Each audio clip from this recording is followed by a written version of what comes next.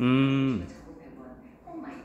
어, 완벽한 커스텀은 아닌가 보네. 그러니까 버전이 두 가지인가 봐요. 아, 어, 근데 이렇게 생긴 놈하고 생긴 놈또 하나 더 있더라고. 오. 동글하게 생긴 놈. 놈 같은 놈. 그 녀석 전용인가 그러면? 예, 그런 쪽에